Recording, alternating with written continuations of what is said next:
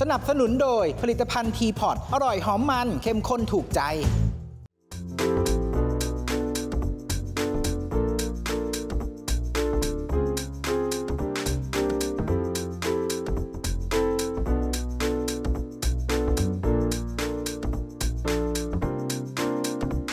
กลับมาในช่วงนี้นะครับ ของ Perfect Cooking by ยิ่งศักดิ์ Family นะครับ แน่นอนนะครับเท็ดดี้อยู่กับมามีอีกเช่นเคยนะครับ และตอนนี้ FC ของอาจารย์เมย์เนี่ย โอ้โห บอกว่าอยากได้เค้กชิฟฟ่อนสูตรเด็ดมามัดใจนะครับ ว่า โอ้โห แบบนุ่ม ๆ นะครับ แล้วก็มีรสชาติอร่อย ๆ อาจารย์เมย์วันนี้เป็นเค้กอะไรครับ Coffee Prune Chiffon ค่ะ โอ้โหคุณผู้ชมครับต้องบอกว่าน่ากินมากๆนะครับ เค้กชิฟฟ่อนอาจารย์เมย์เนี่ย FC รู้อยู่แล้วว่า โอ้โหเลิศมากๆ นุ่มเบาละลายในปากนะครับ แต่วันนี้เนี่ยจะเป็นรสกาแฟแล้วก็มีความหวานหวานๆของลูกคุณด้วยใช่เข้ากันแน่แล้วนอก็นนะฮะวันนี้ชิฟฟ่อนของเรา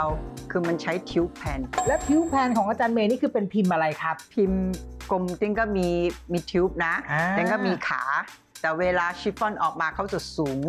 สวย อ๋อ นี่คือเป็นเทคนิคเลยนะใช่ คุณผู้ชมนะ แตงก้าจะไม่มีสิทธิ์ว่าร้อนๆออกมาคว่ำเลยไม่ได้แบบนั้น ไม่ได้ค่ะ อ่าต้องมีเทคนิคใช่ในเลือกค่ะพิมพ์ วิธีการใช่ อบเสร็จปุ๊บเอาเค้กมายังไง โอ้โห วันนี้ทักษะล้วนๆครับคุณผู้ชมครับ เดี๋ยวเรามาดูขั้นตอนการทำพร้อม ๆ กันนะครับ กับเมนู Coffee Prune Chiffon นะครับ หรือว่าชิฟฟ่อนกาแฟลูกพรุนนั่นเองแหละครับ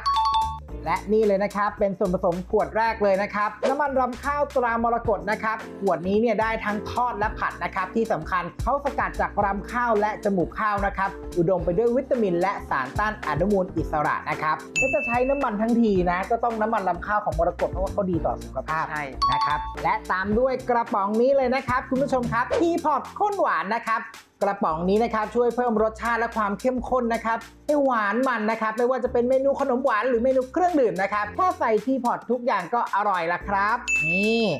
ก็คือนมข้นหวานทีพอตนะครับใส่เข้าไปในชิฟฟ่อนของเราได้เลย และสูตรชิฟฟ่อนสูตรนี้นะครับคุณผู้ชมเข้มข้นแล้วก็อร่อยแน่นอนนะครับ เพราะว่าเราตามด้วยนมข้นจืดที่พอตแถบชมพูนะครับกระป๋องนี้ทำให้คุณทำอาหารได้อร่อยหอมมันเข้มข้นกลมกล่อมครบจบทุกเมนูคาวหวานเลยนะครับนี่อันนี้ก็คือเพิ่มความหอมมันนะครับชิฟฟ่อนเราจะได้มีความฉ่ำด้วยจากนั้นนะครับคุณผู้ชมตามด้วยกาแฟผงนะครับ เพราะว่าวันนี้เราทำชิฟฟ่อนรสกาแฟเนาะส่วนผสมที่เราชั่งไว้นะครับ ควรให้เข้ากันนิดนึง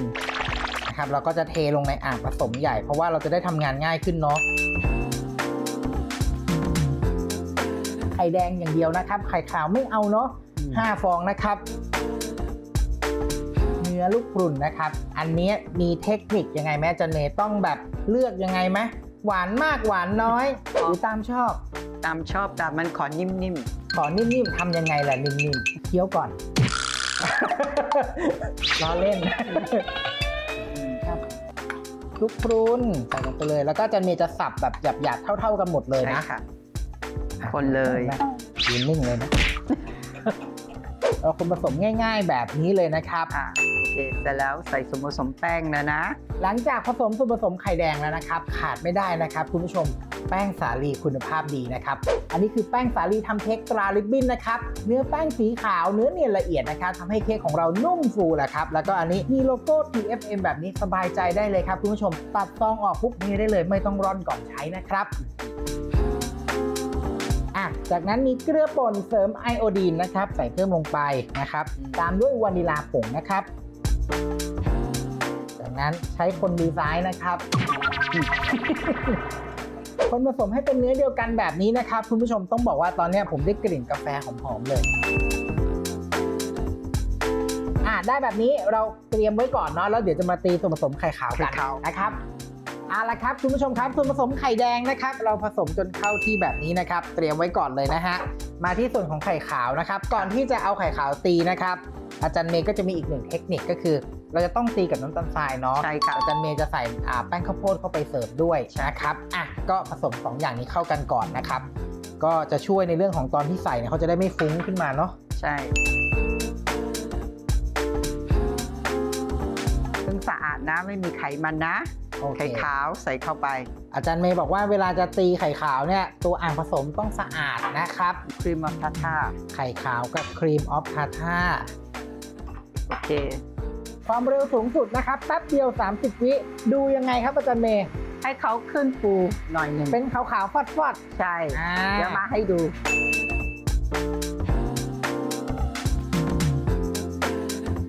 ไข่ขาวเขาจะฟอดๆแต่ยังไม่ตั้งยอดนะอ่าประมาณขนาดนี้ เราก็ใส่สมผสมน้ำตาลกับแป้งข้าวโพดลงไป นี่แหละ หลังจากนี้อ่าปุ๊บเขาจะตั้งยอดแล้ว โอเค เสร็จแล้วเราก็ตีสูงสุดนะคะครับถึงเขาตั้งยอดประมาณ 1-2 นาที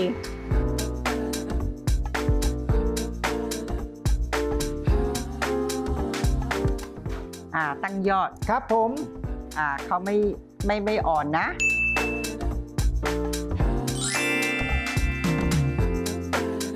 อ่าสมมติไข่ขาวดีใช่ไหม คนเท่าไหร่เขาก็ข้นจะโชว์ว่าอย่างเนีนนั้น ใช่นี่ต้องได้แบบนี้นะฮะคุณผู้ชมครับ แต่ถึงเอาครึ่งไข่ขาวหนึ่งเรานะคะจะคงที่ขนาดไหนก็ต้องแบ่งครึ่งหนึ่งก่อนนะครับ จะได้ทำงานง่ายเนาะโอเคนะตะกร้อมือนะควักส่วนผสมขึ้นมาอย่าคนนะคะ เราต้องการให้เค้กฟูเขามีอากาศใช่นะครับไข่ขาวเก็บเป็นตัวเก็บอากาศให้อยู่ ถ้าเราคนแบบตะบี้ตะบันปุ๊บมันอืมฟุบไปหมดเลยเนาะใช่ค่ะ เอาละโอเคเทดดี้นี่เราสองคนนี่ไม่ธรรมดาแล้วเนี่ย เธอด้วยเหรอ มาเร็ว แรงนะเดี๋ยวเนี้ย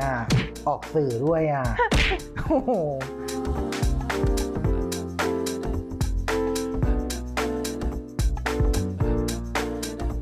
เอาละโอเค สมผสมเขา เวลาหยดลงไปเขายังเห็นมีทรง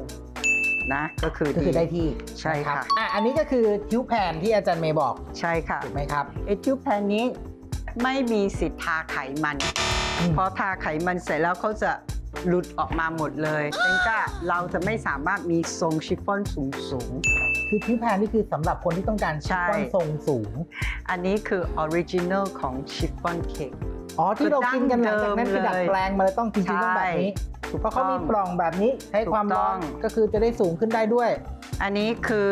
คือเค้ก แรกที่หมามิเรียน คุณพระคุณเจ้าครับคุณผู้ชมปรบมือพร้อมกันครับ อันนี้คือย้อนกลับไปประมาณเอ่อไม่นานไม่นานเออไม่นาน 50 ปี โอ้ห้าสิบปีแล้วใช่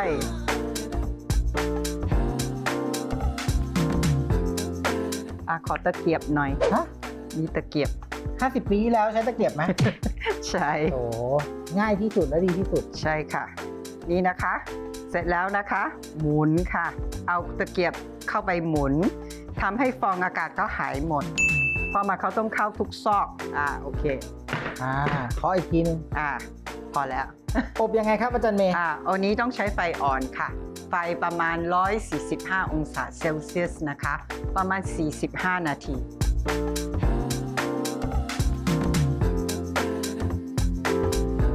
เอาละครับคุณผู้ชมครับ อันนี้ก็คือชิฟฟ่อนกาแฟลูกพรุนนะฮะเอ่อออกมาจากเตาอบทันที เราก็ต้องปล่อยไว้อย่างนี้นะคะ ให้เขาเย็นอ๋อสทิ้งนิทเลยพอออกจากเตาอบคว่ำอย่างนี้เหรอใช่ต้องเขาไม่ค่ะหลุดออกมาเหรอ ก็สมมุติเรามาทาไขมันเขาก็หลุดทันทีเลยอ้าวแล้วมันไม่ติดพิมพ์เหรอ เนี่ยเป็นแบบนี้อะอาจารย์เมย์หลอกเปล่าไม่หลอกนะ โอเค พออย่างนี้เสร็จแล้วใช่ไหมบางคนนะ เมื่อก่อนน่ะ เวลาเราแกะชิฟฟ่อนนะแต่ไม่มีใครกล้าทำอันนี้ อันเนี้ยส่วนมากจะอยู่สิงคโปร์อะไรแบบนั้นอะเขาจะใช้กัน พอเย็นสนิทแล้วใช่ไหมคะ เราก็เอามือไปกดเค้กอ้าว